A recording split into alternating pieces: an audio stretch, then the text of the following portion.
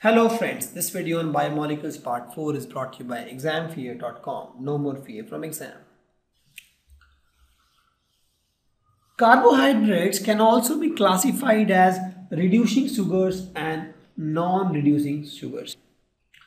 So we talk about reducing sugars, all the carbohydrates which reduce Fehling solution or Tollens reagent are reducing sugars. And the one that doesn't reduce this Fehling solution, Tollens solution are non-reducing sugars. Please note this reducing carbohydrate should have aldehydes, ketone or hemiacetal link. If it has either of these, they will be a reducing sugar. For example, if you see, this is what, this is aldehyde. This is what ROR dash, this is a ketone. This is RCOH, aldehyde, this is ketone. This is hemiacetal where you have OH, this is my carbon here. OH, OR, R and H, this is hemiacetal. So all these three in the black will be a reducing sugar. This is what? This is acetal. That is two different R's and two different OR's. So this you will not be able to reduce. This will not reduce actually the Fehling solution or Tollens reagent. So this will be non-reducing sugar. Correct? And please note that we will see that all monosaccharides, all monosaccharides are reducing sugar. In fact, all disaccharides are also reducing sugar with one exception and that is sucrose. So all disaccharides, we'll, we'll see this also.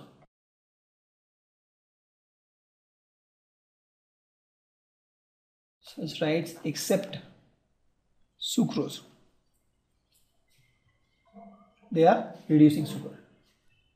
So we'll, we'll discuss these things in details when we talk about the monosaccharides in detail and disaccharides in detail. Just understand that we have two different type of carbohydrates. One is called reducing sugar, the other is called non-reducing sugars.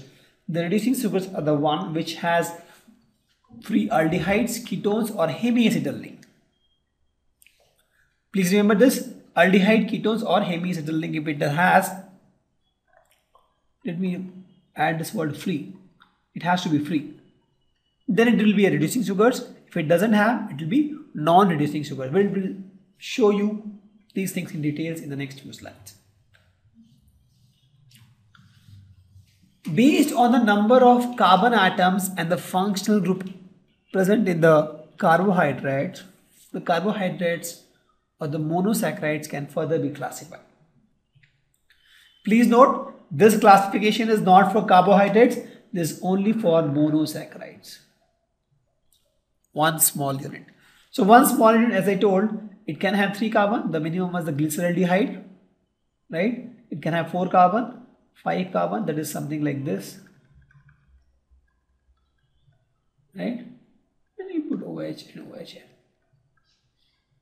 This is one unit.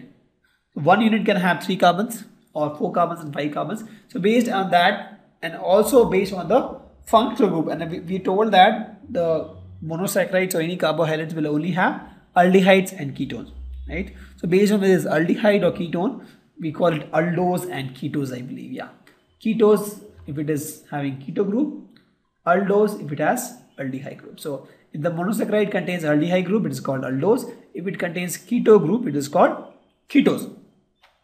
Correct? And then based on the number of carbon atom, for example, if it has 3 carbon, again we are starting with 3, minimum 3. We explained why. Think, yes, you are right. It is because 3 carbons are required minimum for glyceraldehyde because it is polyhydroxy, right? It is polyhydroxy, so 2 carbon for 2 OH and 1 aldehyde or ketone, so 1 carbon for aldehyde or ketone. So minimum 3 carbon is required. So we start with 3. So 3 carbon, it is called triose, general term. If it has aldehyde group, so this triose can be further classified as aldotriose or ketotriose based on whether I am talking about aldehyde triose or ketotriose. Similarly, this tetrose is a monosaccharide which has 4 carbon and this tetrose can further be classified as aldotetrose or ketotetrose based on the fact whether it is aldehyde group or ketone group. So if you see here, my glucose, glucose has how many carbon? 6 carbon, correct? And it is aldehyde or ketone? Aldehyde, we have just seen. So glucose will be aldohexose. Why? Because the glucose has 6 carbon and it's part of aldehyde group. We have seen this structure of glucose. Actually, we will see the structure again. It is something like this. One, two. Okay, leave it. We'll see the structure in the next few slides. Okay, let me draw one, two, three, four, five, six carbon here. Right. This is my aldehyde group here, and these all has OH group. Right, and this is CH2OH. This is the kind of structure. We will talk about the orientation of this in the next few slides. Just understand this is the kind of structure we have. I think this is OH. And again, this is OH and this is H. And this is OH here. H here, H here and H here. This will be the structure of glucose and we will discuss this in detail in the next few slides. So this has 6 carbon. So it will be part of hexose. And since it's aldehyde group, it is aldohexose. Correct? Thank you. Visit examfear.com to watch more videos. Attempt free online tests get free study materials find tutors and mentors and much more. Thanks once again